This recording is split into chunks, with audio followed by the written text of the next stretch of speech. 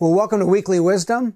Uh, there is a reality that we all live with that in this talking world, in this verbal world, uh, sometimes the absolute best thing we can do, the smartest thing we can do, the most profound thing we can do is shut up, is just not talk.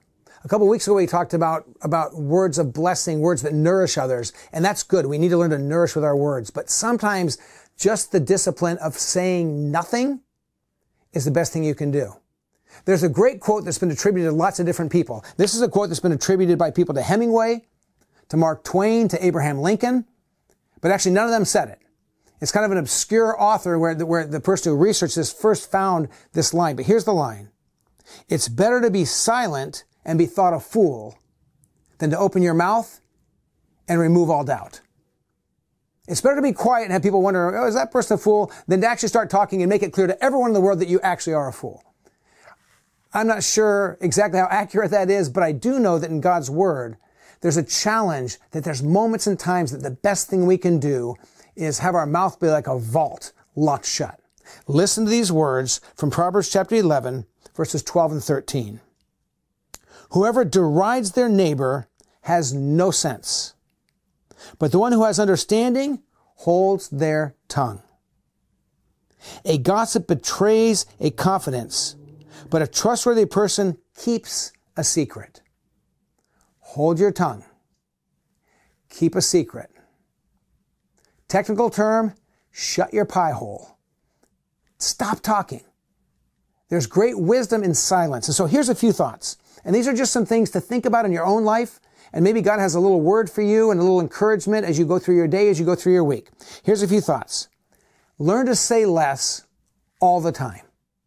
Make a decision that just say, in every situation, when I've said what I have to say, I can be done. Sometimes there's people who just can't end the sentence. They can't, there's comma, comma, comma, comma. It keeps on going. But sometimes just, just say less. When you've said what you need to say, conclude. And if you don't know how to conclude, here's the best way. Just stop talking. Just when you've made the point, wrap it up. Be done. Here's another thing. Listen a lot more and ask good questions. One of our leaders here at Shoreline Church, Pastor Dennis, he's got, he, he leads our, our and our care ministry. And he talks about how when you're having a conversation with somebody and when they're talking about something, in your mind, always have two or three more questions to go deeper. Keep asking questions. Oftentimes, for many people, we're not thinking about the next question. We're thinking about when is, when's it my turn to say something? And we're hardly listening to them because we can't wait to jump in and say, well, but you know what about me? Or you know about what I experienced. But Dennis, as a counselor, says one of the best things you can do as you're listening is be thinking, what's another question that we can go deeper? And another question. And after two or three questions, you'll discover that they're talking more and you're talking less. And there's wisdom in that. Another thought.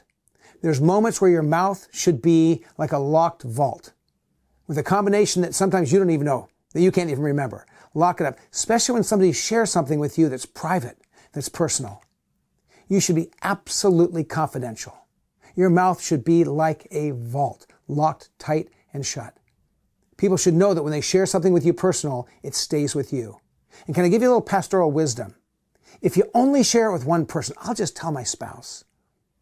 And if they only share it with one person, and that person is so discreet, they only share with one person. In a short time, everyone knows. So there's times when you hear something that it's for nobody at all. It's not for your closest friend. It's not for your spouse.